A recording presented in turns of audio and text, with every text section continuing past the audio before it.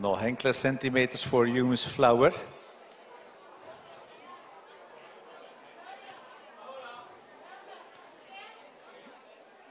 Nog een paar passen.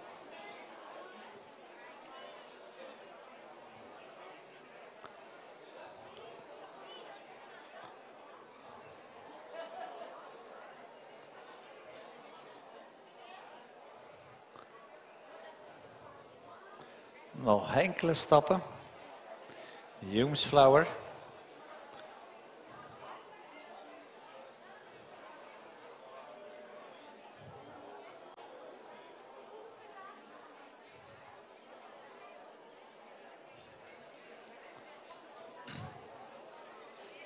La Cotillienne Grey is favoriet geworden. 2.8.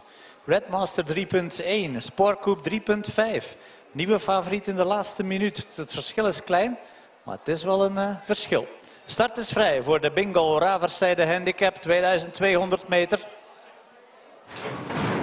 Vertrokken, de start is gevallen. Humes Flower die verloor een uh, goede lengte bij de start. Aan de buitenzijde is Perle d'Amour heel mooi vertrokken. Spock aan de binnenzijde met Lakeside aan de railing. Red Master die volgt dan wat verderop met Karadak. En As If By Magic aan de railing. Texas Bright Moon die ligt dan in achtste stelling. En zo worden de posities met uh, Humes Gray en La Cotillienne Gray verder bij in het veld ingenomen. En onder het leiderschap van Spock trekken we richting de tribunes. In tweede stelling volgt dan ondertussen Cape Verde die opgerukt is voorbij Lakeside.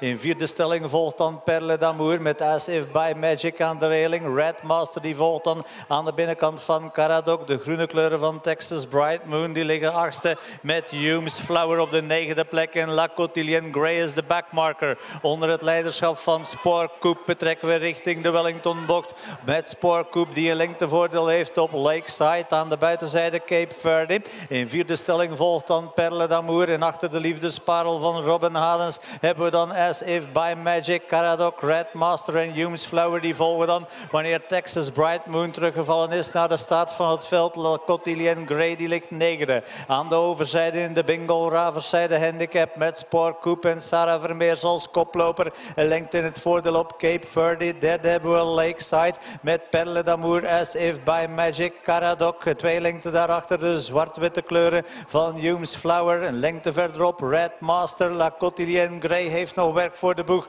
Net zoals de backmarker Texas Bright Moon. We draaien de golfbarbocht in. Nog altijd met Sportcoop als koploper. Sportcoop Lakeside in het kielzog aan de buitenzijde. Cape Verde in vierde stelling volgt dan Perle d'Amour. As if by magic aan de railing. Caradoc die ligt zesde. Humes Flower en La Cotillienne Grey die volgen. Red Master is geklopt. En we komen de laatste rechte lijn in. Nog altijd met Sportcoop. Sarah Vermeers lijkt nog met de handen vol te zitten. Met een lengtevoordeel. Lakeside aan de railing hebben we Humes Flower die naar voren komt. Maar daar is La Cotillienne Grey aan de buitenzijde. En La Cotillienne Grey die daar Sportcoop uit. La Cotillienne Grey en Sportcoop. Sportcoop aan de binnenzijde. La Cotillienne Grey buitenom. En Sportcoop heeft nog wat extra's. Sportcoop die wint het voor La Cotillienne Grey. Als derde hebben we Humes Flower in een zinder aan de laatste rechte lijn. Met een fantastisch duel tussen Sportcoop en La Cotillienne Grey. En Sportcoop die komt als eerste over de finish.